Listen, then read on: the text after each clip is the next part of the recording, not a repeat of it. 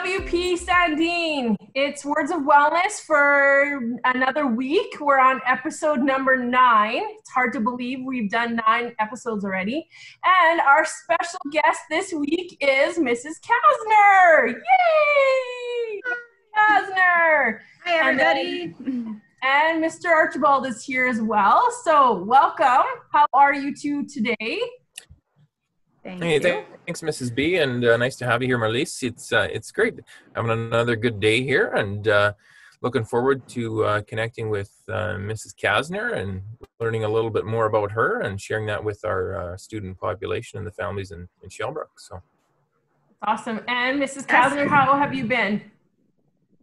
I'm doing great. Yeah, it's a busy time at home, but um, enjoying, trying to embrace this time and enjoy myself um, and try and get work done as well and enjoy the time with my children too. So, Oh, um, so yeah, good. it's a ju- definitely a juggling act, but it's um, it's fun. Oh, that's good. So, Mrs. Kasner, it looks like you're outside today. So, we're interviewing you. It's a bit of gale force wind today. So, you're good for you to be outside and enjoy the weather, even though it is a little windy today. So, Yes, we'll- it's um, it's not our perfect summer day, but that's for sure. But um, I still, it's still nice enough to be out here without a winter park on and freeze my butt off. So um, it's all good. It's awesome. Okay, so what we usually, or what I usually do every Words of Wellness, I ask our special guest uh, five questions. So I just have some five random questions that I'm going to ask you. So if you're ready, I'll get started. You ready? Sure. Okay, Sure. so first question Which do you prefer, living in town or living in the country? Ooh, that one's kind of easy. Um, country. I was raised on a farm. Um, grew up in the country, exploring in the bushes, climbing machinery, um, grain bins, everything like that. So um, being out on the country is kind of my home again. So um, I'm just loving the trees, the birds, the animals, moose tracking through our yards, deer, everything. Having a big dog again outside. Um, just all those things um, I really love about the being on the farm. That's awesome. Definitely of those town things. right. So your Um, boys must just love it outside. Yes, they're outside making forts in the bush, bringing back deer antlers, all kinds of sheds and stuff um, that finds that they That's find in the bush, and it's good. We have a little creek behind our house too, so they they're like um, investigating that and seeing how wet they can get and all those kinds of things. So it's fun watching them play and grow up and being able to discover those things as well. So Oh, that is so the good. town I miss neighbors and I miss biking on pavement. That biking Oh, yeah. on gravel. Yeah, it's unpredictable, really. You hit a rock and then you're all over. So, absolutely. But miss the neighbors and seeing everybody and the convenience of run into the grocery store if you forget something. But True. Yeah. it, we're loving the country life. Oh, that's awesome. Okay, number two, you and I know I've know, I've taught with you for many years here already. So, and I know that you're a really healthy eater, and I always see you eating salad at lunchtime. So, can you tell me what your favorite salad dressing is? It's just a random Well, question. I was thinking about that. Yeah, I don't really have a favorite. I switch all the time. Like once I'm done one bottle, I go to another one. Next one I see in the grocery store. I do have my like ones I usually um, gravitate to, like the Greek feta or um, Okay. uh, one. Uh, sometimes I switch it up and have a Caesar for a while, Caesar salad. Um, Italian, whatever's out there. My husband really likes ranch, so if I have nothing, I I throw that on. So Oh, yeah, I'm kind of like a all over kind of salad girl. I I switch that up all the time. Well, that's Don't get sick of it, I guess. Then, No, well, it's pardon? I said that's good because some people have a hard time eating salad, and you're just always eating salad. You're so healthy, so it's good. Well, I try, but I I do have my moments of uh, chips and chocolate too. Yay! That's awesome. It's good to hear. Um, okay, Yeah. so here's a question. Some of you may or may not know that Mrs. Kasner is a curler. And so here's a trick, bit of a trick question. So since you started curling from when you were really young, how many curling rocks do you think you have thrown, both competitively and just in practice and in games? So do you have a number? That is a hard one. I've never been asked how many rocks I've thrown. I've and people ask me about hours and about how many practices and about all that kind of stuff. But ooh, rocks. Well, let's think. Started curling when I was in grade five. That's like year 10, right? 11. Um, 38. Okay, so 27 years. um, I curled usually when I curled competitively, I curled at least 10 bonspiels um, a year and practiced anywhere from two to five times a week, depending on the season, ti- timing of the season and where it, how long it was. Um, and at practice, I wouldn't throw more than 30 rocks. If you asked how many how many rocks I swapped, that would be a lot more. Because you sweep twice as many as you throw at Yeah, least. For sure. Um, but let's think. Um, doing the math, probably eighty thousand to hundred thousand rocks I've thrown in my lifetime. That's amazing. in there? That's amazing, hey? That is amazing. Good for you. Wow. They they say it takes quite a few hours to be a master at something, right? Is it 10 10,000 hours you have to put in? I think so, yes. Yeah, to get really good at something, if that's hockey or reading or whatever it is, right? So Right. um, I'm sure I've put in multiples of those hours. Right. Exactly. Well, good for you. That's a lot of rocks. Holy man, over your life. That's amazing. a lot of time freezing on the ice. Yeah. yeah, no doubt. Never thought about it that way, but yes. Point. Okay. Um, next question. What is the one thing that you have done during COVID to keep in shape? Because uh, there's no curling right now. And so, what is one Right. you've done either with your family, individually, by yourself, whatever that you've done? Because you're you are in shape. Well, thank you. Um, not as in shape as I'd like to be, but um, I I try and be active every day. So whether that I don't do one certain thing, but uh, I do go for runs, and my kids I try and get them going with me and biking beside me when I'm running and pushing the third kid because he can't bike fast enough yet. Um, so we go for runs on the gravel road. We I do little workouts at home in my living room. Um, online ones just biking as well um, but it's really tough biking on gravel but i i fight through that um, and we just try and be active so gardening or or playing around the yard playing ball um, catch different things like that so Right um, on. just trying to keep on moving all the time That's awesome. hiking at the lake on the weekends that kind of stuff yeah Yeah, it sounds like you guys are always on the go. So it's nice to hear. Thanks for sharing what you're doing because some people may struggle. they don't know what to do anymore. right and three young boys usually keep me running pretty good too Right. Just chasing yeah, them around. exactly. Yeah. For sure. Okay, one more curling question, and then I'm going to turn it over to Mr. Archibald. Okay, so okay we know that you have curled competitively both two person and four person. Which one would you choose if you had to choose only one, or do you like them both Ooh. equally? Hmm. Yeah, that's a tough one. There's pros and cons to both. Um, I love the four person curling. Obviously, I did that one the longest um, with my my three girl teammates. Um, I loved the road trips with them. I loved rooming with my sister um, and just chatting and having those relationships with those girls and having fun with them on and off the ice. Um, I love the competition and the travel that we got to do with that.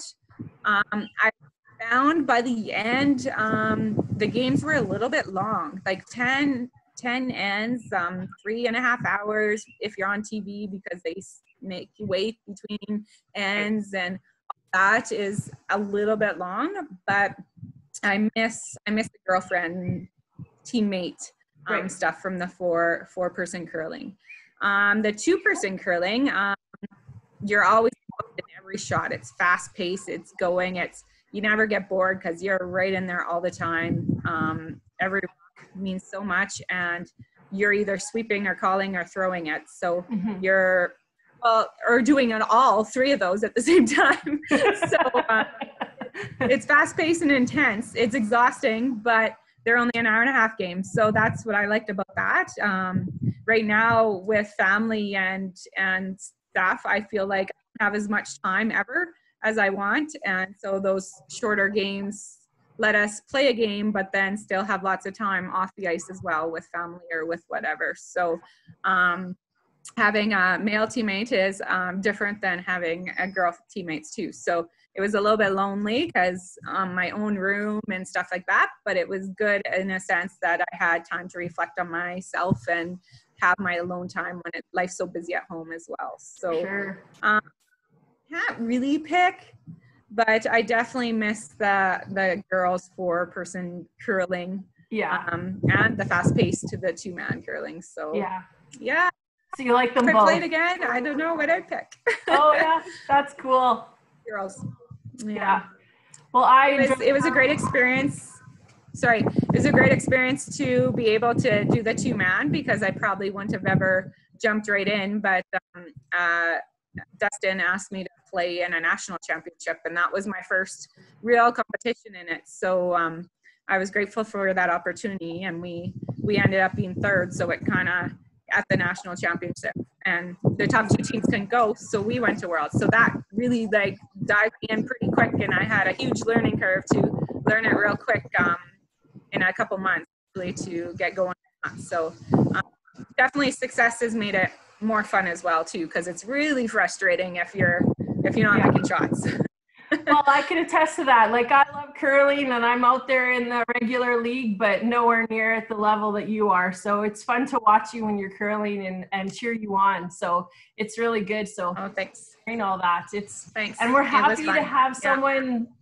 As like someone like you on our staff that's, you know, traveled and been a world champion and it's it's amazing. So we're just happy that you're able to be with us today and I, you can ask, answer all these crazy questions that I put together. So, okay, Mr. Archibald, your turn. Do you have anything to ask Mrs. Kasner? Well, well, yeah, kind of as as usual. I'd like to know more about uh, the teacher's uh, career pathway, how they uh, got into teaching, and how you hmm. came to Shellbrook. So, um, yeah, can you tell us a bit more about that, and uh, maybe uh, the why in regards to uh, you becoming a teacher? Um, okay, yeah, I always liked babysitting. I always liked children um, and kids, and that was an interest in me. Um, I was the youngest of four kids. Um, I grew up on uh, in a place just um, by Shellbrook as well. So my why was, yeah, I just enjoyed being around kids and um, thought teaching would be an interesting and fun job. It's it's um, never boring. It's it's fast paced. Um, the days go by fast. All that kind of stuff. So um, yeah, I was interested in that. So I I registered at the U of S. Did two years of arts and science, and then had the dreaded um, interview questions um, to, to education itself. So um, I had that, and I was crying after my interview, thinking I failed, I flunked horribly, everything like that. And then I got the acceptance letter. So I was pretty pumped that um, I did well in my inter- well enough on my interview to um, get into education. So from there, I um, my husband is a farmer around here, so uh, just when I graduated from university, we were engaged. So I moved back here and, awesome. and just started jobs around here and I also like wanted to work with some of these awesome people um, because when I left WP, um, these people were already working here, and I wanted to oh. um, see them again. Mrs. Kennedy. Kennedy. Holy Who else do we have? Oh, This is the Lacombe. this is the Oh, code. Mrs. Look. I got from my uh, grad book. Mr. Radikoff. Oh my goodness. Mr. Look Red at Bull, look young that. him. Oh, and look at look look at this. Mrs. Wow. Berezowski. Some good old class people. Oh my god, my face is all red. Oh. Yeah, they were Uh, at the great. start of their careers and um, so yeah that's why i i became a teacher because um, i had lots of great influences growing up um, great teachers in the elementary school in Shellbrook as well as uh, wp so um, those inspired me as well to um, be as good as them and um, connect with the students and have fun That's awesome. I don't feel Good stuff. old, really. oh boy. Good stuff. Good stuff. Thank you for sharing that. And uh, yeah, we, we're lucky to have you here at WP and uh, and teaching the kids and and uh, sharing your expertise. And I love all that heart that uh, you shared with us there. Um, one of the other things, just in regards to your curling career, I, I actually um, I don't curl by any means. Um, if you've seen a moose on ice, and that's kind of what you'd see me doing on the ice. But uh, I do come from a curling town, um, and I used to be, I think, friends with one of your uh, curling mates at one time, TJ Surik. yes Um, tj Surk, oh, yes yes. Um, and uh, so I'm just wondering what um, what things you bring into the classroom from your curling e- experience, the um, the tips, the tricks, the trades. What you bring to the the classroom from your experience in that. Um, hmm. Okay. I think sport does a lot for people. Um, it grows a, it grows their character. It makes them more resilient. It helps them per- persevere through tough situations. All those kinds of things. So, um, as from sport, you can learn in life, right? So, me taking like I've won lots of provincial championships, but man, I've lost a lot too right? And so downs um the the you work so hard for something and it it doesn't happen for you um the goal isn't met. Um that happens as a teacher too right? You're working hard and then you're like i'm failing these kids. I you, know you messed up or you didn't teach it the way it for all students to learn or different things like that. So just being resilient knowing okay that didn't work let's try something else or let's bounce back from this this low and and um, try and work through this or fight through this and and get better at, at um, what i do as a teacher in the classroom. So um, sport is learning from your mistakes and the same as teaching right? You you try something um, sometimes it's out of your comfort zone sometimes it's a huge fail um, just like in sport. But you've tried and you can you have to take it and learn from it. And these are life lessons that i try and help the students understand as well and take throughout life. Like maybe this math assignment or this you're not going to use in everyday life but it's the challenge that you need to have the right mindset to be try and accept that challenge and persevere through it even though when it's tough and you don't get it and you you can't um, make it work right now um, in sport you just keep on trying right? Or else you quit. And uh, for a competitive person quitting is an option. So um, you just you keep so i think the resilience part um, and trying to persevere through difficult times is huge in sport and and in the classroom so i i try and help students with that in lessons classroom lessons all that kind of stuff